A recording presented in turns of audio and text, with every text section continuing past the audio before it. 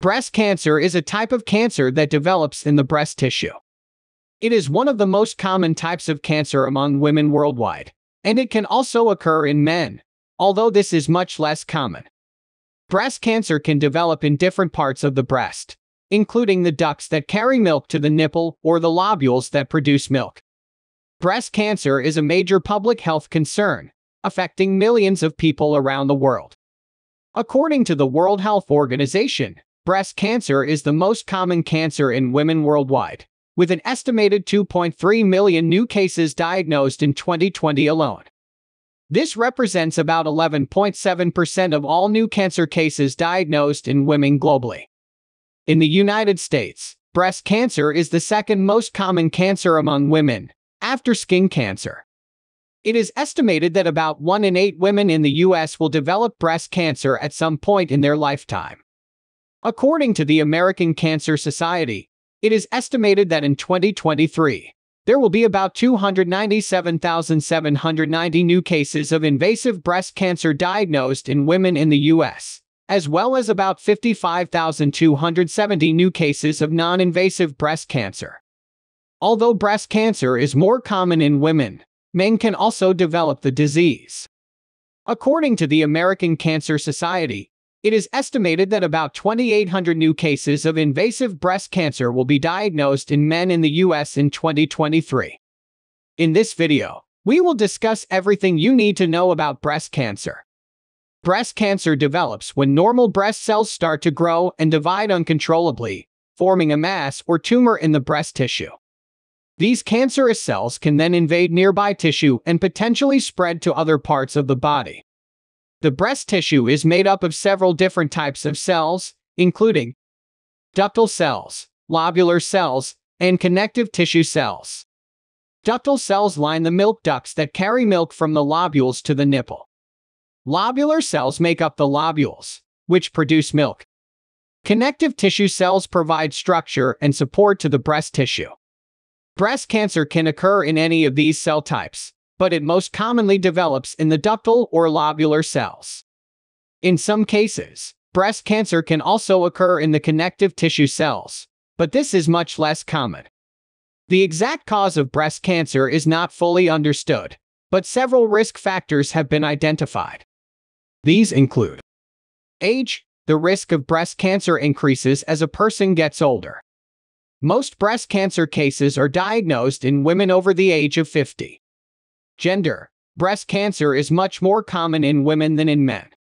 Family history, women with a family history of breast cancer, particularly those with a mother, sister, or daughter who has been diagnosed with breast cancer, have a higher risk of developing the disease. Genetics. Some genetic mutations, such as mutations in the BRCA1 and BRCA2 genes, can increase the risk of breast cancer.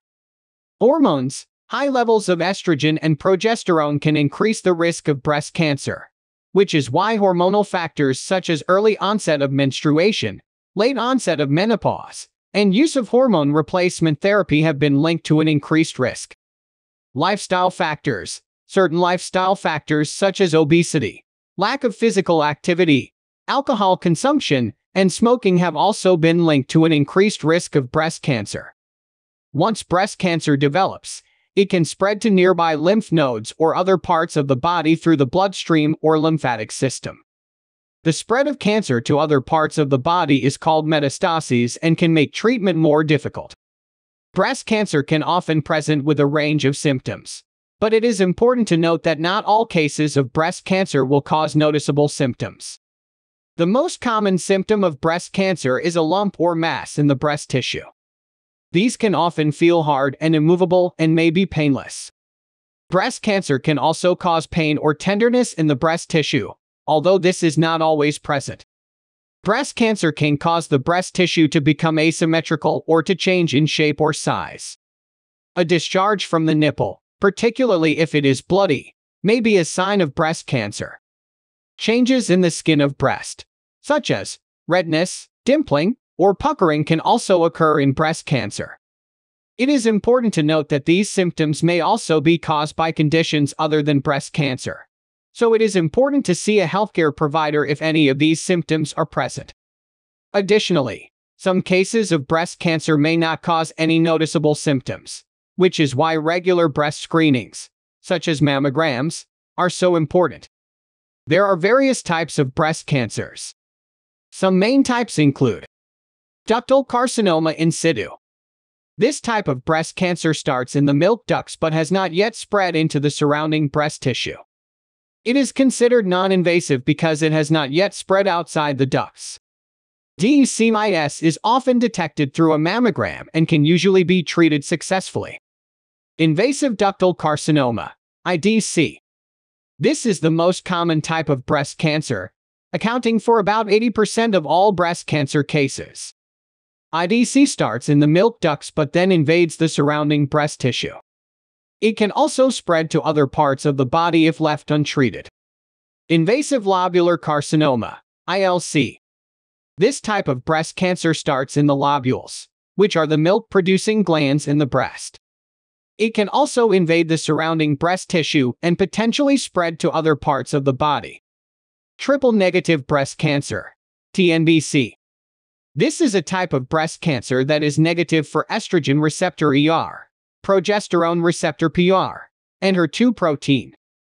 TNBC tends to be more aggressive than other types of breast cancer and is often treated with chemotherapy. HER2 positive breast cancer. This type of breast cancer tests positive for the HER2 protein, which promotes the growth of cancer cells. HER2 positive breast cancer can be treated with targeted therapy drugs that block the HER2 protein. Inflammatory breast cancer IBC. This is a rare but aggressive type of breast cancer that accounts for less than 5% of all breast cancer cases. IBC causes the breast to become red, swollen, and warm to the touch, and can often be mistaken for a breast infection. IBC requires immediate treatment and can be difficult to treat.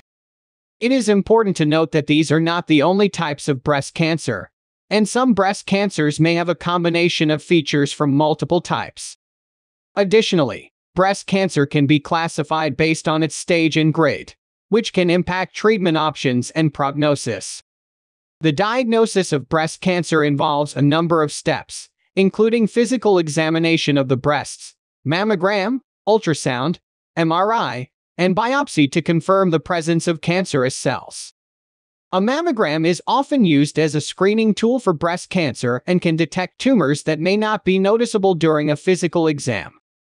An ultrasound and MRI may also be used to get a more detailed picture of any abnormalities in the breast tissue. If an abnormality is detected through screening tests, a biopsy may be necessary to confirm the presence of cancerous cells. Additionally, further testing may be necessary to determine the stage of the cancer and whether it has spread to other parts of the body. This may involve imaging tests such as PET scan or CT scan. Early detection through regular screening tests can greatly increase the chances of successful treatment and survival, so it is important for women to discuss their screening options with a healthcare provider. The treatment options for breast cancer can include surgery. Surgery is often the first line of treatment for breast cancer. The type of surgery recommended depends on the stage and location of the cancer, as well as other factors such as the size of the tumor and whether the cancer has spread to nearby lymph nodes. The two main types of surgery are lumpectomy and mastectomy. Lumpectomy is a breast-conserving surgery where only the tumor and a small amount of surrounding tissue are removed. This is typically followed by radiation therapy to the breast.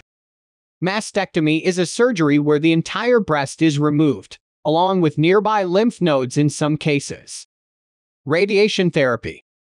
Radiation therapy uses high-energy X-rays or other types of radiation to kill cancer cells. It is often used after surgery to destroy any remaining cancer cells in the breast or lymph nodes. Radiation therapy may also be used as the main treatment for breast cancer in certain cases, such as for patients who cannot have surgery. Chemotherapy. Chemotherapy uses drugs to kill cancer cells throughout the body. It is often used in addition to surgery and radiation therapy for patients with more advanced breast cancers. Chemotherapy can cause side effects such as fatigue, nausea, and hair loss. Hormone therapy. Hormone therapy is used for patients with hormone receptor positive breast cancer, which means that the cancer cells have receptors for the hormones estrogen or progesterone. Hormone therapy works by blocking the effects of these hormones or reducing their production. This can help slow or stop the growth of the cancer cells. Hormone therapy can cause side effects such as hot flashes and mood changes. Targeted therapy. Targeted therapy is a newer type of treatment that targets specific proteins or other molecules that help cancer cells grow and divide. It is used for patients with certain types of breast cancer, such as HER2-positive breast cancer. Targeted therapy can be given as a pill or injection and can cause side effects such as fatigue and nausea. In some cases, a combination of these treatments may be used to treat breast cancer. The treatment plan is tailored to the individual patient and may change as the cancer progresses or as new treatments become available. We hope you have liked this video. If you have any queries, feel free to ask in comment. Also, if you haven't subscribed yet, make sure to subscribe our channel for more health and medical videos.